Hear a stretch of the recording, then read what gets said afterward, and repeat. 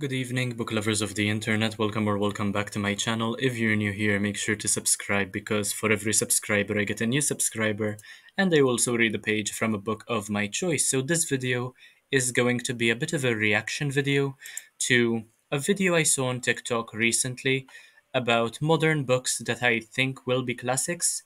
Uh, there was this person called Read by Emma who made this video. I'm going to take a look at how many of these I've read and I will be sharing my opinion about them and let you know whether I agree or not. So, yeah, stay tuned and let me know what you think of this in the comment section as well.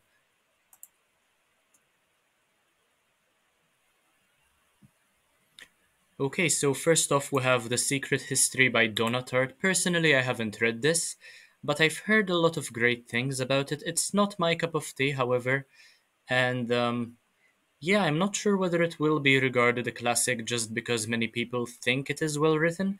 Unfortunately, there is the stigma that is that if a book is philosophical or thought-provoking in a pre- in a pretentious way, then it should be regarded a classic. But I don't know. Let me know if you've read it.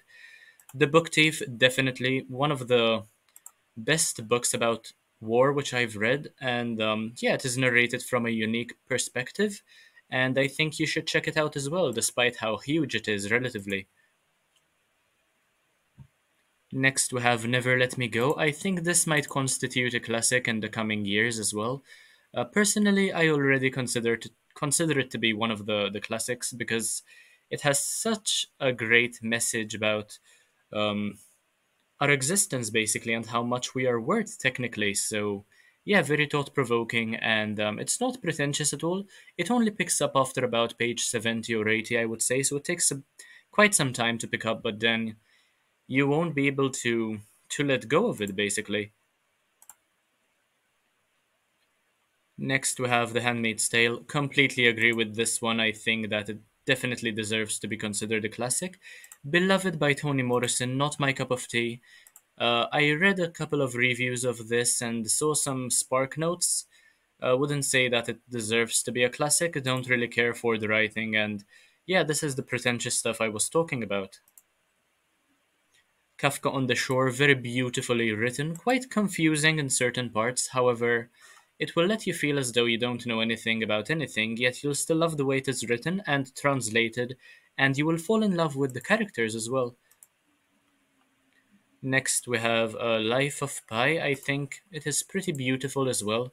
Wouldn't go as far as to call it a classic, probably, even though it is a very great book with a fantastic message, though, yeah, wouldn't go as far as to call it a classic.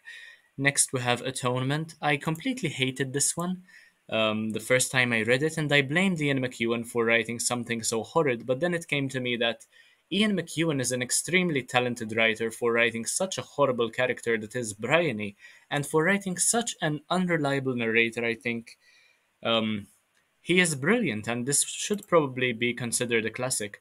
Even though I had to study this for my exams, so I might not be completely um, in, in awe of this book as I should be. Next, we have The Perks of Being a Wallflower, one of my favorite books of all time. Fully recommend, definitely deserves to be a classic. Uh, Stephen Chbosky, brilliant author, highly recommend. Uh, Joan Didion, haven't read this one, don't know what it's about. Next, The Kite Runner. I've read some of Khaled Hosseini's work, and he is a very evocative writer. I think he does deserve to be um, one of the classic writers, especially the Kite Runner thing. The Road, beautiful book, had to read this for an exam, and I was not disappointed. This one my father knows a lot about, anything by Elena Ferrante, you can ask him for information. I haven't read it myself, but from what I've heard, it is an extremely worthwhile read, and you should definitely check this out. I know I will. Um, next, and I think finally we have um, On Earth We're Briefly Gorgeous. That one is a completely horrible book. Absolutely despise that book. I hate it to this day with a passion.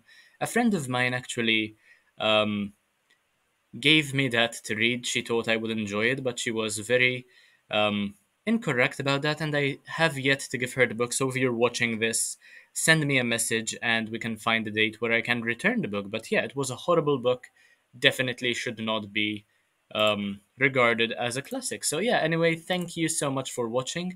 I hope you enjoyed this reaction video. Let me know whether you'd like to see more of this sort of video. Um, thank you so much for watching. Make sure to like, comment, share, subscribe. Check out the rest of my content. And I'll see you in the next one, hopefully, very, very soon. Bye, guys.